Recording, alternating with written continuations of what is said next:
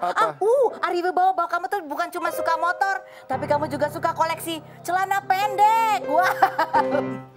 celana pendek. Maksudnya celana dalam. Jadi tulisannya pendek.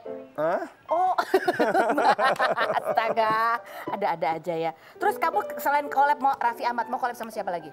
Oh, eh siapa aja? Siapa aja? Siapa aja boleh. Terbuka boleh? Hah? Sama aku kalau gitu Mau ya. banget. Aku pasang sama dia ya. Kapan dong, kapan dong? Nah, segera abis Iya, ini ya. iya, bener ya. Oke, ini ada lagi nih eh, seorang selebgram yang Oke. dia juga penyiar radio juga ya, terkenal sekali ya, followernya banyak. Jangan-jangan follower kita kalah sama dia. Collab, collab, collab. Kita lihat dulu profilnya berikut ini. Anindita Hidayat, selebgram asal Bandung berusia 24 tahun ini dikabarkan dekat dengan Rizky Febian, putra sulung komedian Sule, lantaran beberapa kali memberikan komentar di postingan Anin dengan emot love namun sudah dihapus. Mantan penyiar radio ini pertama kali bertemu dengan Rizky Febian saat promo lagu dan mengaku hanya teman lantaran tidak pernah jalan bersama. Perempuan berambut panjang yang disebut netizen mirip Bunga Citra Lestari dan Nikita Willy ini di akun media sosialnya kerap memposting video olahraga dan masak hingga dikomentari netizen sebagai wanita idaman. Benarkah Anin dan Rizky Febian memiliki hubungan spesial? Saksikan kisah selengkapnya hanya di Rumpi No Secret. Nih eh, Anin ya, kayaknya kita berdua harus banyak belajar sama yang muda-muda kayak gini ya. Ini konten, Boleh, konten boleh. Apa kamu apa sih? Selebgram, konten kreator apa? Apa ya, aku konten kreator aja. konten kreator ya. Nah ini kamu yang lagi ramai diperbincangkan adalah ada apa antara kamu dan OU? Tujuh pesona Anindita Hidayat, selebgram yang dikabarkan dekat dengan Rizky Febian. Gitu. Sebenarnya lebih banyak sih pesonanya. Oh, iya. Nggak cuma tujuh ya.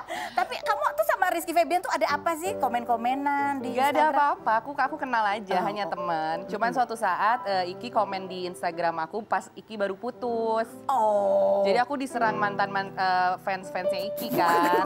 iya mantan mantan fans mantannya Iki pada bener nggak sih gini-gini. Oh. Aku sebenarnya hanya teman. Oh teman, tapi emang udah lama kenal sama Iki? Udah lama awal ketemu tuh 2014 lah. Saat Oh. itu aku masih jadi penyiar radio, pernah ketemu Iki sering di radio aku dulu di Jakarta di Ter- Bandung. Terus ada lagi yang posting apa, eh, Iki komen, terus habis itu komennya hilang sudah ya, iya kan? Kenapa begitu nggak sih? Kenapa tuh, yang hapus siapa tuh komennya tuh yang waktu itu? Bukan aku yang hapus. dia sendiri yang hapus. Kayaknya Iki deh yang hapus.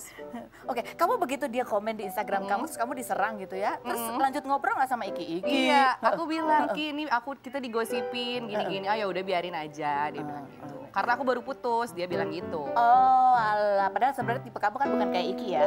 Ka- Ah. kayak Ari Wibowo nggak? Aduh Mas Ari siapa sih yang nggak tipe? Iya betul betul betul. Ya tipe sepanjang masa ya. Apa yang kayak di pojokan itu yang berewokan kamu sukanya? yang berewokan oke sih. Ini sukanya memang berewokan ya. Cuman kurang kurang berotot, kamu kurang berotot. Kurang Ya. berisi ya. Terus yang berikutnya coba kita lihat ini kalau foto ini. Foto perempuan yang satu ini coba kita lihat. Ini juga konten kreator juga nih. Agak setipe-setipe mirip-mirip gimana gitu ya. Apa, kenal nggak kamu nih? Enggak, aku nggak kenal. Anya mah putih kali. Ya putih tapi Putih kan tinggi, sudut-sudut- langsing. Sudut-sudutnya gitu agak mirip. Kalau dibilang mirip Anya, alhamdulillah berarti aku cantik. Iya kamu emang cantik sih. Apa kalau menurut kamu apa yang beda lagi kamu sama dia? Bedanya apa? Secara apa ya? Secara kekhasan kamu tuh apa? Tipe cowok Anya tuh beda sama tipe cowok aku. Oh gitu.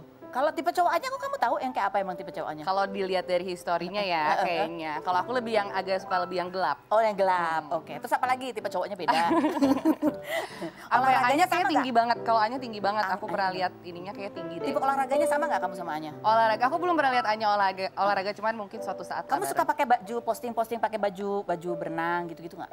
Baju Setelah berikut ini jangan ke mana-mana ya, tetap di rumah.